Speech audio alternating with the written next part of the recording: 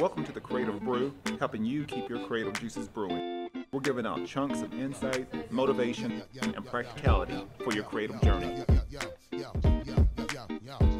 This is a new episode of the Creative Brew. We're always giving out creative tips, always interviewing interviewing uh, interesting people, uh, interesting creative people, And what are you doing um, with me? interesting characters. Okay. in the in the uh, local community. And uh, like I said, I'm personally I, I'm a, a big uh, comic book geek, uh, sci-fi geek. So that's why we are recording at Panels Comic Book and Coffee Bar. Um, great coffee, great titles. Uh, great snacks. Please come on by. They've got different specials going on. Uh, please check them out. They're off of Mission Avenue, uh, right near the pier. Um, great scenery, great atmosphere. Uh, so please come on by, check them out, and support local businesses.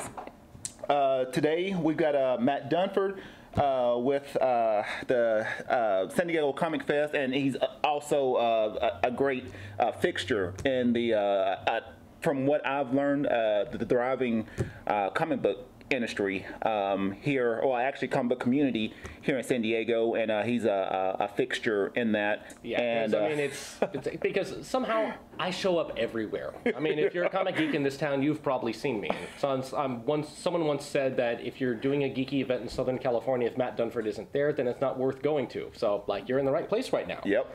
But uh, we're going to talk about San Diego Comic Fest, which is the place that I want and hope that all of you guys will go to. So we're coming up next month. So that's March 7th to the 10th. San Diego Comic Fest is the small, intimate comic convention experience. And you'll say, like, well, don't you mean Comic Con? No, no, Comic Fest.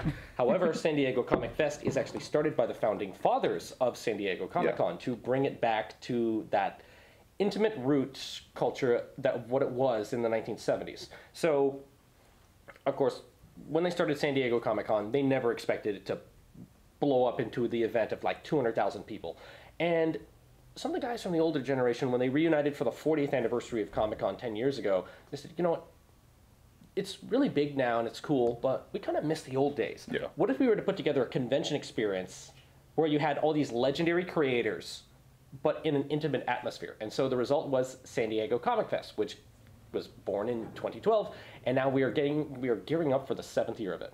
Nice, nice. And I, I personally uh, went went to that last year. Uh, great event, um, and it's and it's intimate, and it's one of those to where you're able that got a, they had a, a lot of great panels, uh, great workshops. I, I went to. I think I went to all the workshops, took notes. Um, so it was, I mean, besides you know going in there, obviously you want to go in there for the for the comics and, and see certain artists and and uh, things like that. You you also get a, a chance to you know work on your craft. You know they got workshops there that uh, you know that you know helps you to work uh, work on new techniques and uh, new skills um, that that can help your help any creative career. So.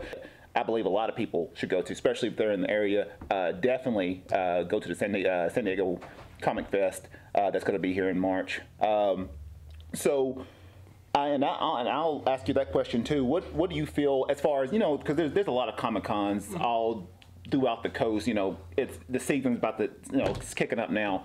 Um, what what makes the San Diego Comic Fest uh, just different from from all the other ones? Well, I think the fact it's just it's operated by fans, for fans, for the community, Yeah. with with just a personal effect to it, and the fact that we are trying to make sure that everybody has fun. Yeah. We're not, you know, in this for you know profit-driven reasons. We are in doing this to actually make sure that people have a good time and mm-hmm. that there is something for everyone. Now, I love San Diego Comic Con. I've been going for 25 years, but I understand that the experience is not for everyone. Yeah. I've you know been going since I was eight years old, and so I've grown up with the San Diego Comic Con experience. but if you're going to San Diego Comic Con for the first time, you're going to be like, oh, "There's too much to do. There's too much." To... Yeah. I think that's a cool thing, but it does get overwhelming for some people. And Mm-hmm. of course, I have nothing but love for San Diego Comic Con.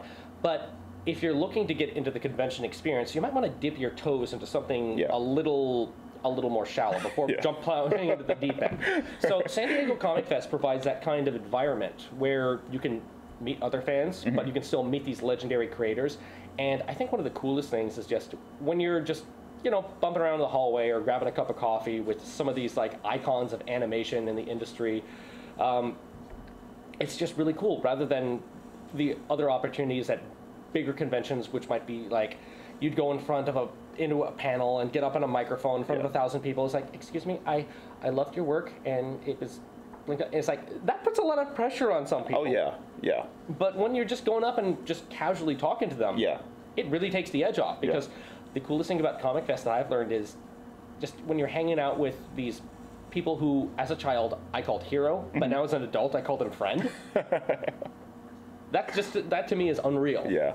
Yeah, that, and that's something that that uh, I was amazed by, even even going down there, because I, you know, anytime, I, and I think for anyone, anytime um, I go to a Comic Con, or eh, like I said, I went to the Comic Fest last year, and I had my mind, okay, you know, is this going to be like the San Diego Comic Con, or what's going to be like? And it was, I mean, it was like I said, it was amazing. You know, I went in there, and it was it was laid back. You know, you could talk to the artists, you can talk to the people that were uh, different publishers and um and you know different you know obviously legends of the game. Um, they were easy to talk to, and uh, that's something that just amazed me. Uh, to where the like I said, it was just flexible to go to different places, listen to um, what people were were talking about, And I'm, uh, I'm very, and I pick and choose the guest list very carefully because, like, I make sure that these people are, um, that they're wonderful entertainers. They're Yeah. wonderful people. That they're friendly, and because you know sometimes we there's that experience where we, eh, where everybody has that like, oh, I just met this creator and he was not as nice to me as I hoped for, and that's like kind of a a- heartbreaking experience that some people have to go through. Trust me, I've been through that way too many times in my life. But I've befriended a lot of these creators, and I know they can be that they are wonderful and they're great, and they provide in- interesting programming. And when I'm at these panels, like listening to these guys, and I'm hanging on every word because trust me, I'm a know-it-all. I like to think I know everything, but then I come to Comic Fest, and it's like, wow, it's like there's something new that I am learning, and Yeah. so that inspires me. Yeah, awesome. And, uh, it, and that's something you know. I, I'm.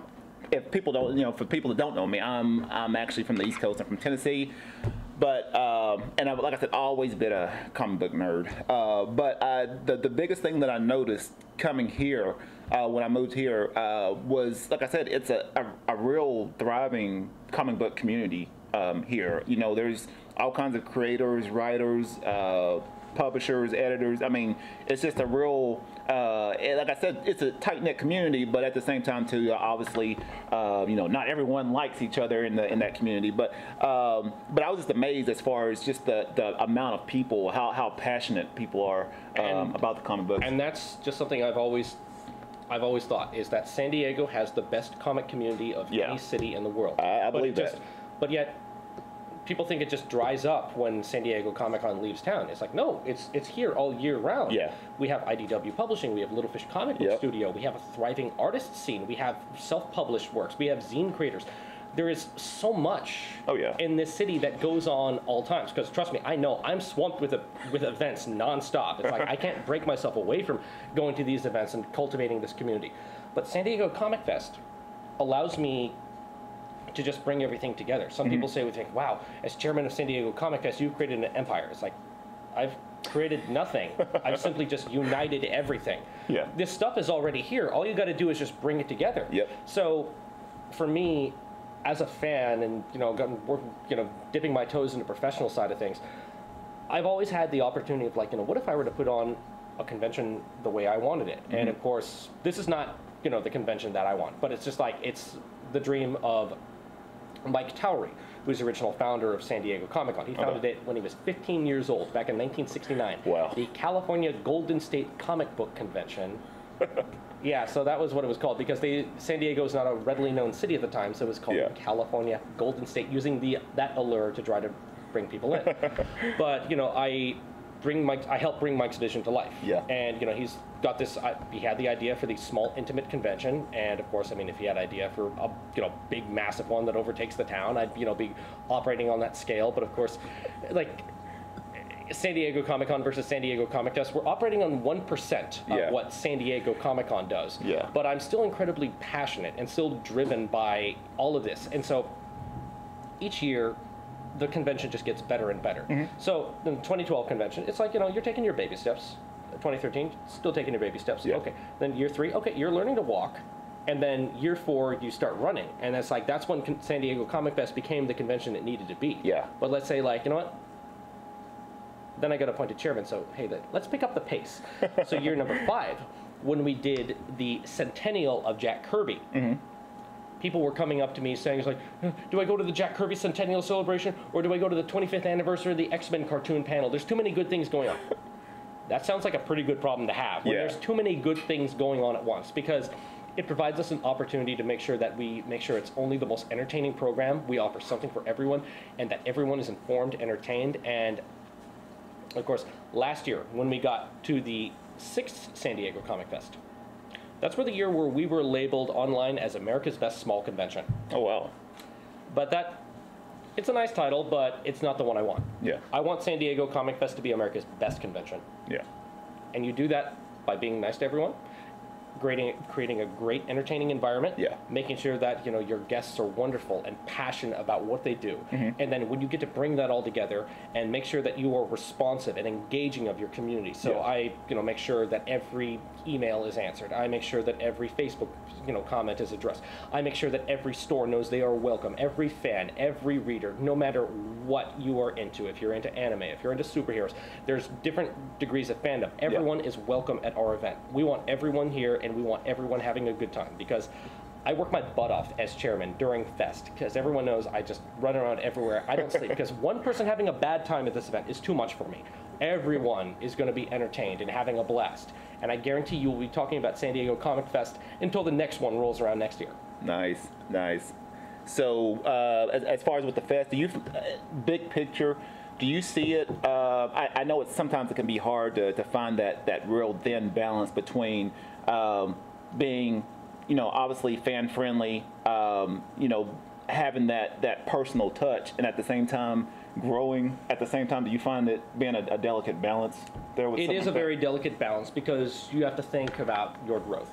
yeah, if you grow too much, it can be, it can have the wrong kind of effect on the convention. Yeah. Some people are saying, "Oh, Matt, here's Jim Lee's email. Get in touch with him." It's like, I think Jim Lee is going to add too many people to our show. That's not the kind of growth I want to see. I want to make sure that it's like you know that creators are accessible to Yeah. talk to and not just overwhelmed with that sort of thing. Because I know that like some it's just like I'm a, I want to set the right tone Yeah. for set actor.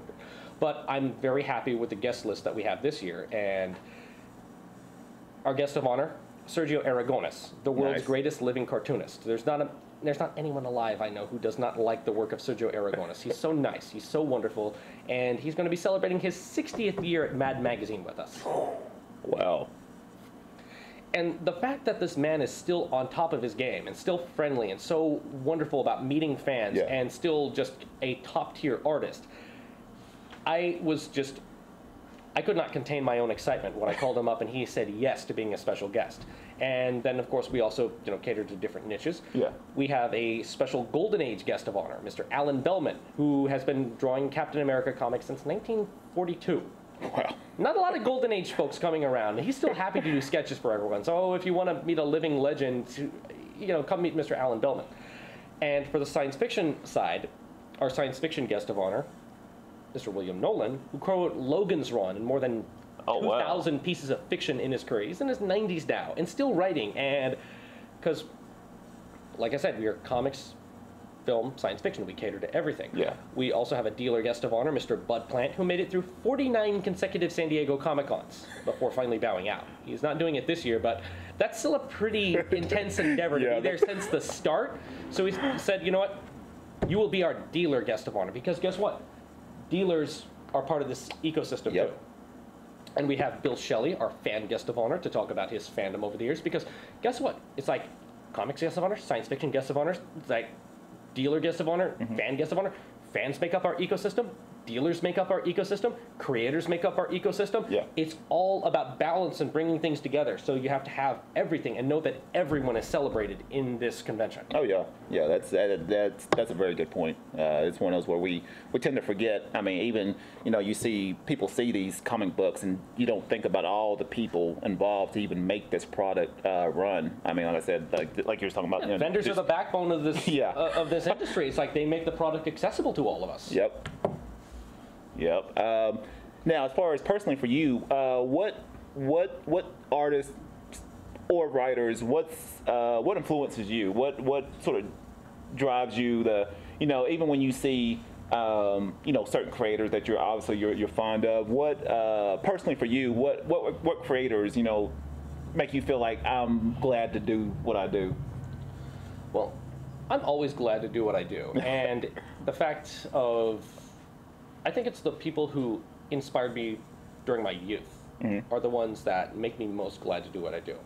So one of the themes that I get to celebrate this year at San Diego Comic Fest is the 25th anniversary of the Spider-Man animated series, which Nice. is still my all-time favorite cartoon. I absolutely love it, and it blew my mind when I saw it first November 19th, 1994, Yeah. with that definitive episode Night of the Lizard. I simply just I begged my mom to take me to the toy store and get me Spider-Man action figures, and then I just became the most insane addict of the show. And so John Semper, who has been coming to the show for the past couple of years, is going to come out and do a very big celebration of 25 years of Spider-Man. So he's going to Yeah. talk about you know the creation of the show, working on it, and he's even gonna we're even putting together a panel on the final two episodes, Spider Wars, which featured um, different Spider-Men from across the universe uniting to stop an evil threat, attempting to destroy all of reality. Does that sound like any movies that came out? Ah, sounds interesting. That sounds like something that I've seen. are, yeah, so we're going to talk about true origins of the Spider-Verse. And no shade on Into the Spider-Verse. I thought it was the best film of last year, Oh, yeah. but it definitely looked very familiar. So, but getting to know John, who is a giant unto his own of this career. I mean, he was the first.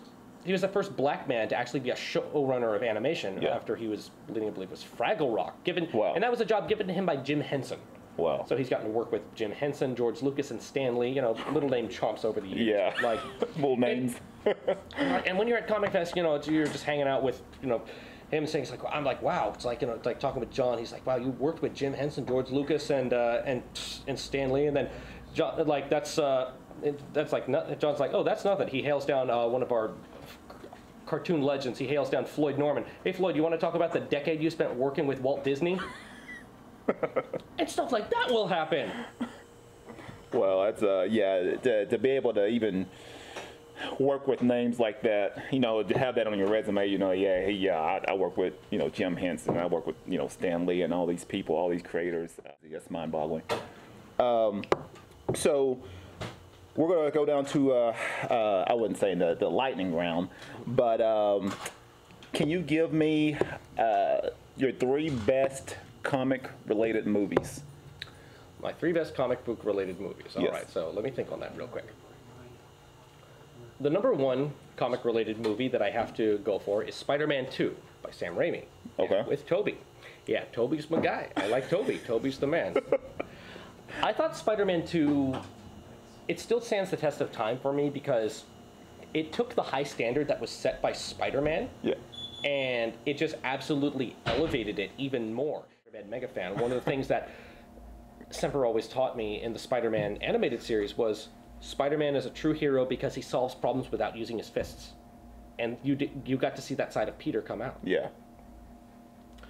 And of course, a new movie coming out into the fray. It's relatively new, but I have to throw it in the top three. Into the Spider Verse is definitely up there. Yep, I got that. Got that So, up there. Into the Spider Verse, you know, while yes, I did just criticize it for lifting its plot from a Spider-Man uh, from a Spy- from the Spider-Man cartoon, it is an amazingly solid movie, and Yeah. it's, you know, I, I loved every second of it. That movie had that movie was so much better than it had any right to be.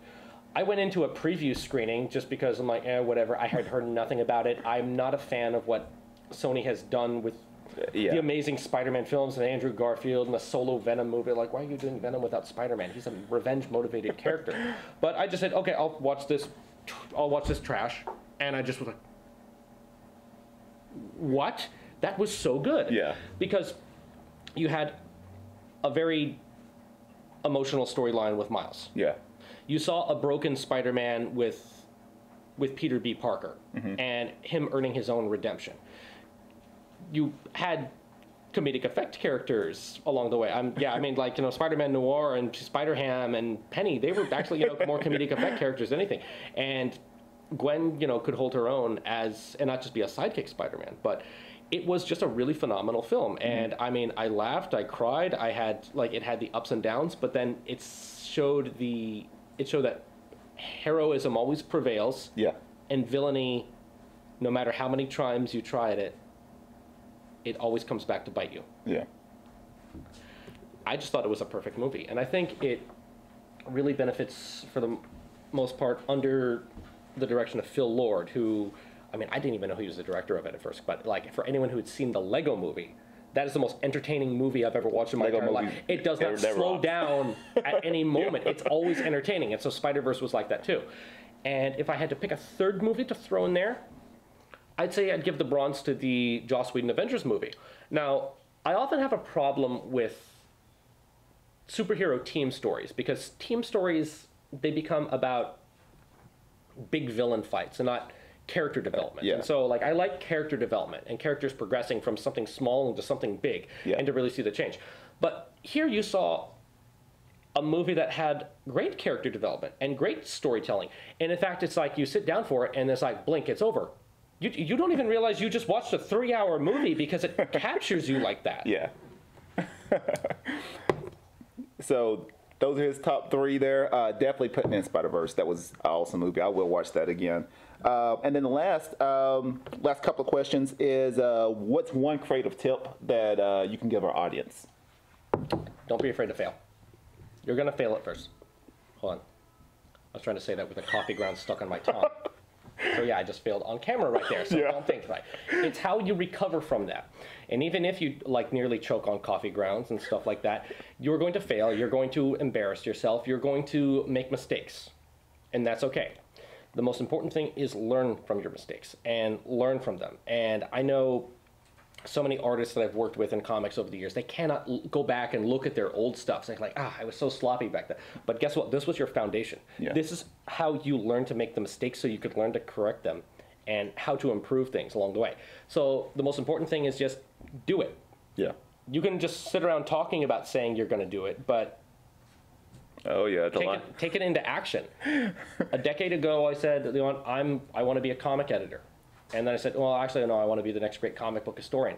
And now I'm, I've kind of moved past those things into the role of convention organizer. It's like, it's not, I, I, it, I was trying to go down different paths, but I ended up going down another one that I actually ended up much more well suited for. Yeah. And I just like being that guy who helps the community. I like to learn those lessons and those failures that I had along the way to help encourage everyone succeed because a rising tide lifts all ships. Oh yeah. We're all in this, we're all geeks together. I do this because I love comics and I love this community and I just want everyone to have a great time with it. Nice, nice. And then where can uh, people, uh, if people are wanting to find information on the uh, Comic Fest, um, the San Diego Comic uh, Comic Fest, where can they reach uh, either you or where can they contact um, or get information about the Comic Fest? Okay, so first things first, uh, check us out at San Di- the San Diego Comic Fest website. So it's www.sdcomicfest.org, .org, not .com. Um, you can also check us out on Facebook at San Diego Comic Fest, F-E-S-T, Instagram and Twitter at SD Comic Fest.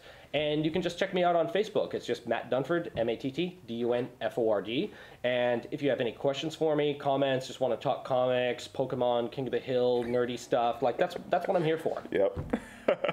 nice. Well, we got Matt here uh, with another great uh, episode of Creative Brew. Uh, if you're in the area, please go down there. Uh, it's uh, what is it? March March 7th through the 10th. Yes. So we're a Thursday Um, through uh, Thursday through Sunday show. All right, I will definitely be down there. I'll be down there learning, be down there uh, checking out all the artists, checking out all the creators, um, going to panels. Uh, it is an awesome uh, uh, convention.